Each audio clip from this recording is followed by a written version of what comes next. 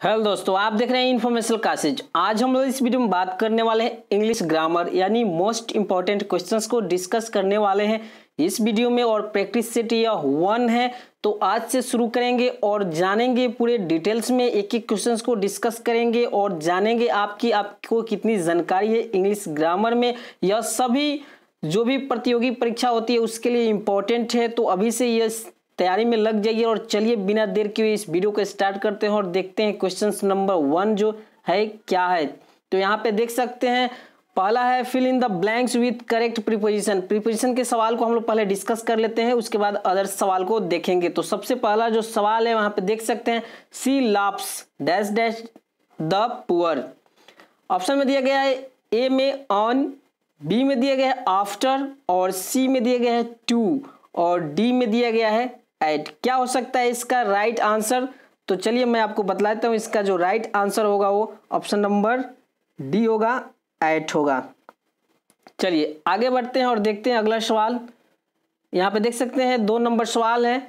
She has no compassion dash dash me क्या हो सकता है? ऑप्शन नंबर ए है एट बी है इनटू सी है फॉर और डी है ऑन तो इसके साथ क्या प्रिपोजिशन लगेगा? तो चलिए मैं आपको बतला देता हूँ। ऑप्शन नंबर इसका सी हो जाएगा फॉर इसके साथ लगेगा। चलिए आगे बढ़ते हैं और देखते हैं अगला सवाल क्या है। तो देखिए यहाँ पे तीन नंबर सवाल है do not run dash dash the new fashion option number A है आफ्टर बी है बिफोर और सी है फॉर और डी है फ्रॉम। क्या हो सकता है इसका राइट आंसर चलिए मैं आपको बतला देता हूँ। जो इसका राइट आंसर होगा वो ऑप्शन नंबर ए हो जाएगा आफ्टर चलिए, आगे बढ़ते हैं और देखते हैं अगला सवाल क्या है। तो यहाँ पे आप देख सकते हैं, ये प्रीपोजिशन का चौथा नंबर सवाल है। The patient died dash dash dash cholera क्या हो सकता है इसका राइट आंसर तो यहाँ पे देख सकते हैं ऑप्शन नंबर ए में दिया है बाय बी में दिया गया एट और सी में दिया गया है फ्रॉम और डी में दिया गया है ऑफ़ तो इसका जो राइट आंसर होगा वो ऑप्शन नंबर डी हो जाएगा ऑफ़ हो जाएगा। चलिए आगे बढ़ते हैं और देखते हैं अगला सवाल क्या हो सकता है इसका। तो देखिए यहाँ पे देख सकते हैं, ये प्रिपोजिशन का लास्ट सवाल होगा। पाँच नंबर है be aware dash dash dash dogs क्या होगा? इसके साथ कौन सा प्रिपोजिशन लगेगा?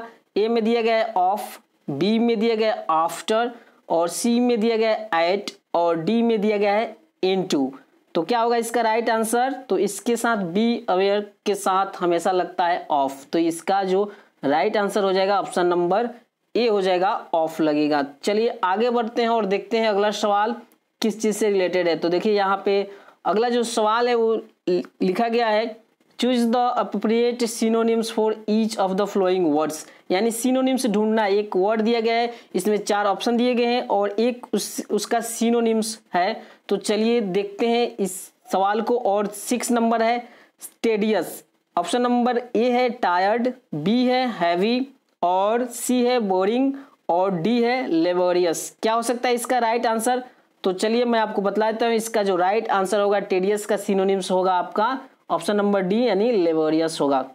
चलिए आगे बढ़ते हैं और बढ़ते हैं आगे और देखते हैं अगला सवाल।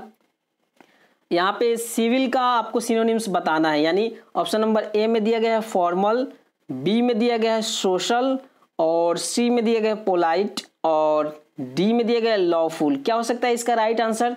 तो चलिए मैं आपको बतला दूँ, इसका जो राइट आंसर होगा वो होगा पोलाइट, यानी ऑप्शन नंबर सी इसका राइट आंसर हो जाएगा, सिविल का, पोलाइट हो जाएगा सिनोनिम्स चलिए, आगे बढ़ते हैं और देखते हैं अगला सवाल। यहाँ पे अभी हम लोग सिनोनिम्स के सवाल बना रहे हैं। कन्वर्स का क्या हो जाएगा सिनोनिम्स ए टॉक बी है फ्रॉन सी है लव और डी है स्लिप क्या हो सकता है इसका राइट आंसर चलिए, मैं आपको बतलाता हूँ, इसका जो राइट आंसर होगा वो ऑप्शन नंबर ए हो जाएगा टॉक इसका सिनोनिम्स टॉक हो जाएगा। चलिए, आगे बढ़ते हैं और देखते हैं अगला सवाल क्या है हमारा। तो नौ नंबर सवाल में दिया गया है वुलेंट्री। इसका जो सिनोनिम्स ढूंढना है और बतलाना है इस जो ऑप्शन दिए गए उसमें से ए में दिया गया ऑटोमेटिक बी में दिया गया हैबिचुअल और सी में दिया गया है सिंपल और डी में दिया गया है रेगुलर क्या हो सकता है इसका राइट right आंसर तो इसका जो राइट right आंसर होगा होगा ऑप्शन नंबर ए ऑटोमेटिक यही इसका राइट आंसर हो जाएगा। चलिए आगे बढ़ते हैं और देखते हैं अगला सवाल क्या हो सकता है हमारा। तो चलिए आगे बढ़ते हैं और देखते हैं अगला सवाल। यहाँ पे ये सिनोनिम्स का सीरीज़ चल रहा है।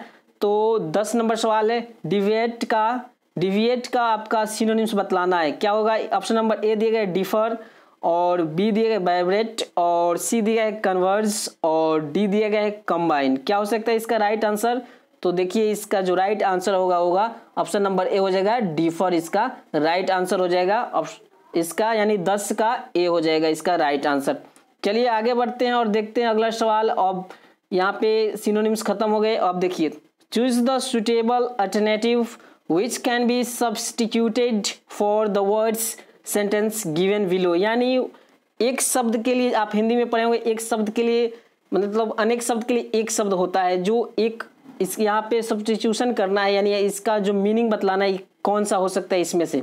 चलिए ग्यारह नंबर है। A person who rules without consulting the opinion of others तो इसका राइट right आंसर क्या हो जाएगा? ऑप्शन दिया गया है यहाँ पे ऑटोक्रेट बी दिया गया है डेमोक्रेट और सी दिया गया है ब्यूरोक्रेट और डी दिया गया फनेट फनेटिक क्या हो सकता है इसका राइट right आंसर तो इसका जो राइट right आंसर होगा ऑप्शन नंबर ए हो जाएगा ऑटोक्रेट जो बिना किसी कंसल्टिंग के अपना रूल करता है और शासन करता है। चलिए, आगे बढ़ते हैं और देखते हैं अगला सवाल।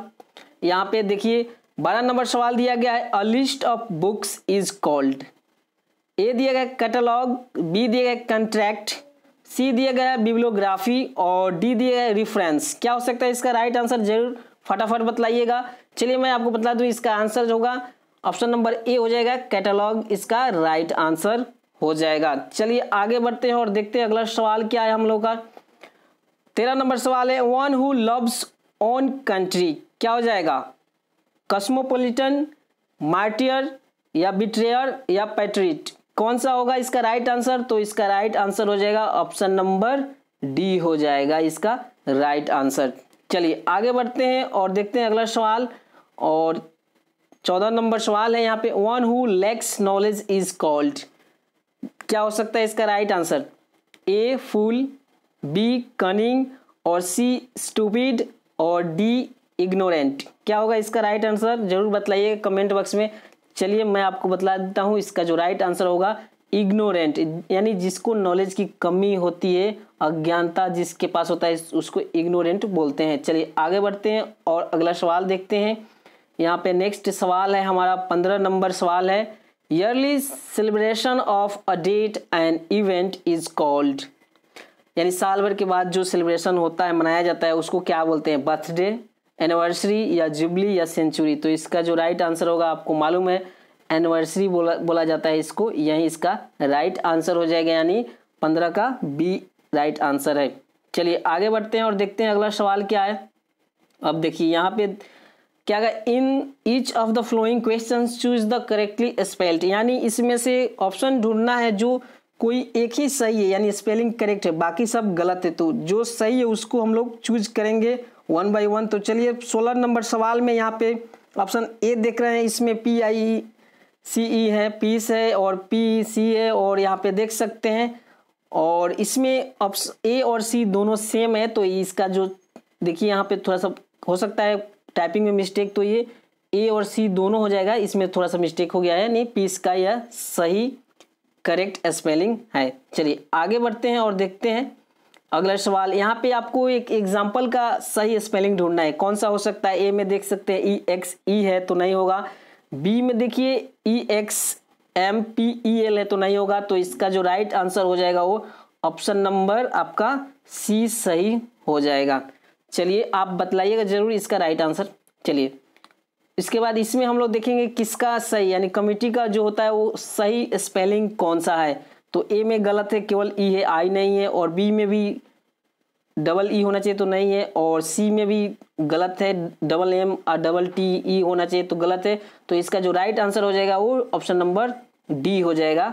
चलिए, उसके बाद हम लोग देख लेते हैं यहाँ पे उन्नीस में ढूंढना है अचीवमेंट का। तो ऑप्शन नंबर ए सही है, बाकी सब में गलती है, कोई ना कोई अल्फ़ाबेट या लेटर कमी है तो इसका जो राइट आंसर हो जाएगा वो उन्नीस का ए हो जाएगा। यही अचीवमेंट का जो स्पेलिंग है करेक्ट है।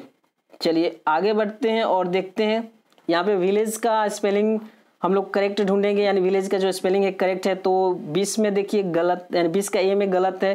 बी में भी गलत है और सी सही है और डी गलत है तो इसका राइट आंसर क्या हो जाएगा? ऑप्शन नंबर सी इसका राइट आंसर हो जाएगा। चलिए आगे बढ़ते हैं और देखते हैं अगला सवाल हम लोग। Choose the correct tense of the verbs and fill in the blanks आपको सेंटेंस के हिसाब से वर्ब भरने हैं इस सवाल में।